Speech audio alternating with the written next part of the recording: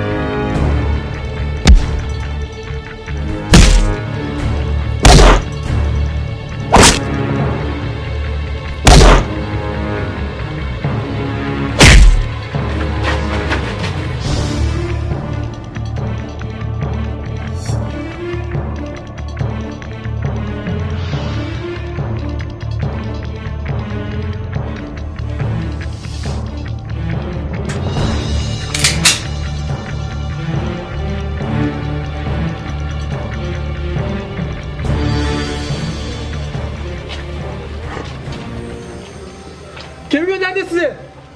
Ne istiyorsunuz benden? Üçe kadar sayacağım. Eğer söylemezsen beynini dağıtırım. Ahmet'in dar sokaklarında dağılmış beynini kimse toparlayamaz.